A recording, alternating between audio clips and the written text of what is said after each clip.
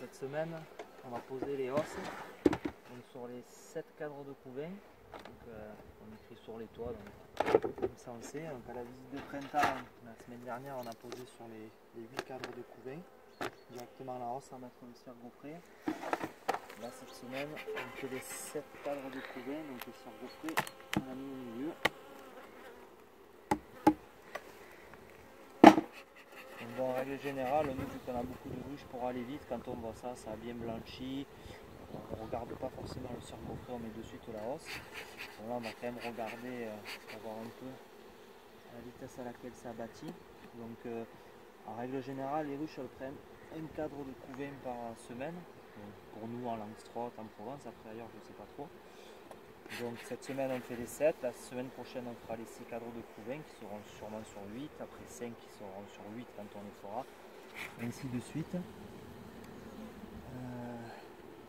donc le cire gaufré, comme je disais, on les met à toutes les ruches, donc les 7 au milieu, les 8 on n'en met pas, on en met 2 dans la hausse, et ensuite les 5, les 4, les 6 on les met à rive du couvain.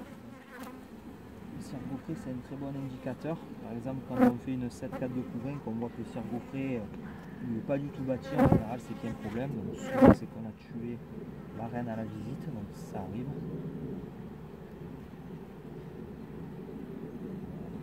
Donc, bon, comme je disais, on ne vérifie pas tout le temps. Donc là, il est bâti. Il y a vraiment 4 œufs, je ne sais pas si on les voit. Elles ont plus mis de miel qu'autre chose. Donc, euh, comme je disais, on vient toutes les semaines. Donc après, euh, en ce moment, ça miel plutôt fort. Donc du coup, euh, on a fait la visite samedi, donc aujourd'hui on est mardi, donc il y a 3 jours. Donc en 3 jours, les 7 4 de couvain le long bâti. Donc en général, euh, on vient, euh, si ça miel ou si la ruche elle est pleine, donc elle avait ces trois cadres de couvain là et quatre ici. Si ces deux là ils sont pleins, qu'elle a que le cire gaufré, on vient 4 jours après parce que ça bâtit assez vite. Si par contre ils annoncent du froid, on peut attendre 8-9 jours pour venir poser la hausse. Ensuite on pose la hausse.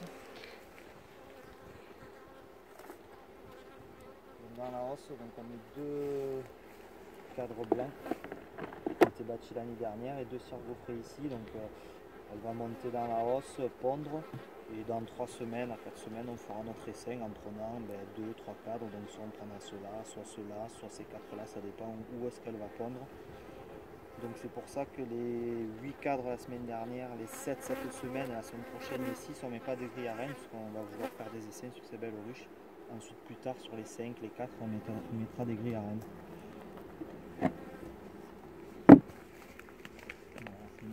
Normalement, si tout se passe bien, dans trois semaines, on pourra aller faire un essai.